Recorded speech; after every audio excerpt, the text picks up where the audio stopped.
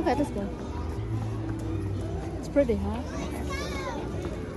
Fudge and ice cream. You have space in your stomach? We can go.